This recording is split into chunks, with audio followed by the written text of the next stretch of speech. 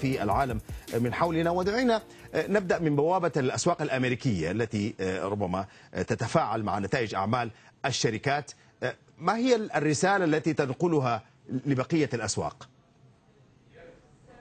نعم أهلا بك طيب بالفعل أسواق الأسهم الأمريكية عم بتحقق ارتفاعات يوم الجمعة بعدما قال رئيس الاحتياطي الفدرالي برساله تعتبر ضمنية بأنه لن يقوم برفع أسعار الفائدة في وقت حال الوقت الحالي وأنه سيقوم بتقليص برنامج شراء السندات. يعني استبعد فكرة رفع أسعار الفائدة في الوقت الذي كانت تترقبه أو تتوقعه الأسواق.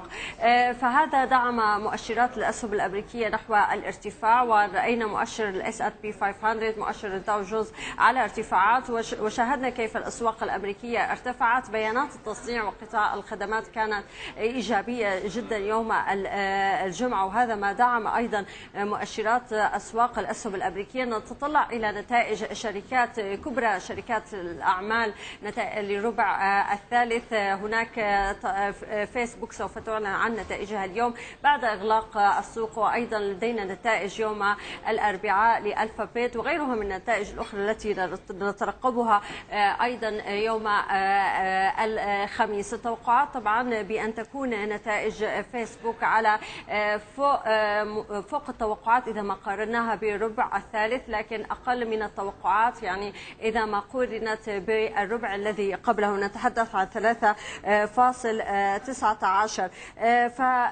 فبالتالي بالتالي لو جاءت فعلا هذه النتائج إيجابية. سوف نرى مستويات قياسية أكبر لمؤشرات الداو جونز وال S&P 500 في ظل نتائج الشركات. نحن ونرى كيف أيضا تأثير سلاسل الإمدادات على هوامش ربحية الشركات وخاصة يعني هل سيكون فقط هذا التأثير محدود؟ فالترقب لشركات كثير مهمة مثل أبل وأمازون وغيرها وألفابيت وأيضا مايكروسوفت. نترقبها خلال هذا الأسبوع. نعم. دعينا ننتقل إلى النفط الذي يسجل مستويات غير مسبوقة يعني في الخام الخفيف لعله في سبع سنوات. إلى أي مدى العرض والطلب الحقيقي في العالم يلعب دور في هذا الاتجاه أم أن ثمة عوامل أخرى تدعم النفط بهذا الحجم؟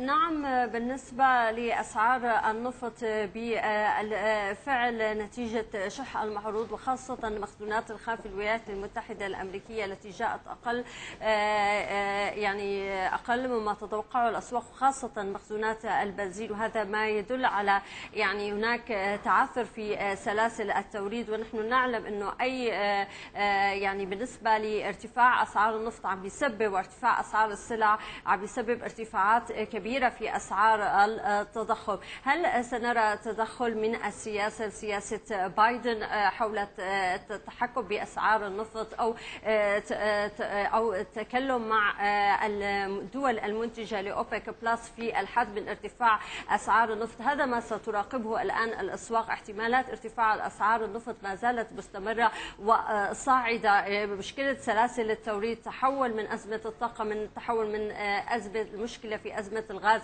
إلى التحول في أسعار النفط وخاصة نحن مقبلين على فصل هذا الشتاء عم نشوف هاي الارتفاعات في أسعار النفط وخاصة نحن نعلم أنه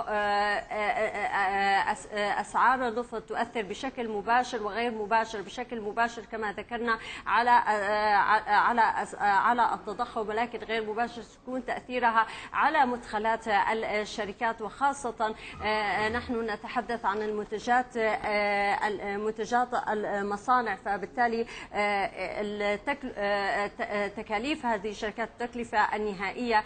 فبالتالي هذا التأثير الذي سيكون على أسعار النفط. يعني هل سوف يؤثر على المشكلة سوف تمتد على أبواب المصانع. هذا ما تترقبه الأسواق لكن احتمالات ما زالت واردة الارتفاع إلا إذا كان تغير في سياسة منتجي أوبك بلس أو بسياسة جو بايدن هي التي سوف تضغط على أسعار النفط. ونتوقع إذا لم يكن أي تغيير فنتوقع أن يكون استمرار لهذه نعم. الارتفاعات ونصل لمستويات ال 90 دولار لبرنت. شكرا جزيلا لك لنقل نوع محللة الأسواق العالمية في إيكويتي جروب